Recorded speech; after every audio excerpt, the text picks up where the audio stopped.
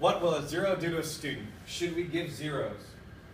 Uh, there, several teachers have different opinions on that, but when you give a student a zero, and that's it, that's their one-shot deal, they're not going to go back and look at that material. They're not going to look back at that worksheet.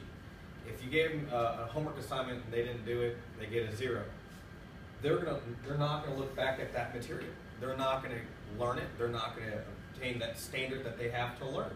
And then they're going to go on to the next assignment, which most of our assignments are tiered. You learn step A to get to step B. Well, how can you do step B without learning step A? And that's where we have this issue. If you keep, you know, them zero, they don't give another shot, they'll never learn, they'll never progress. That's what one of the issues we have with this late work policy and giving out zeros. And it just deters a student from wanting to learn. You know, if you give the zero, all right, that, that's, you know, that's it.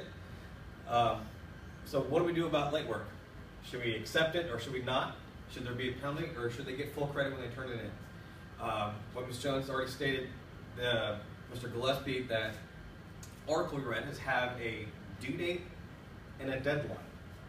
Grades, your homework is due this date, but the absolute last day I'll accept it is this date, is the deadline date. Now, if they didn't turn it in by the deadline date, they had to do an alternative uh, assignment, which describes why it was turned in late, so it's added work for them.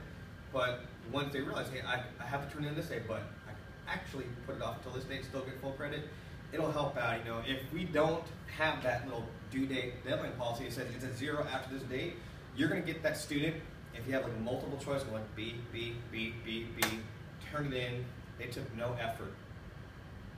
You know, you would hopefully want your students to actually put effort in the homework that you give them to show that they're actually caring about what they do and what they want to learn. If you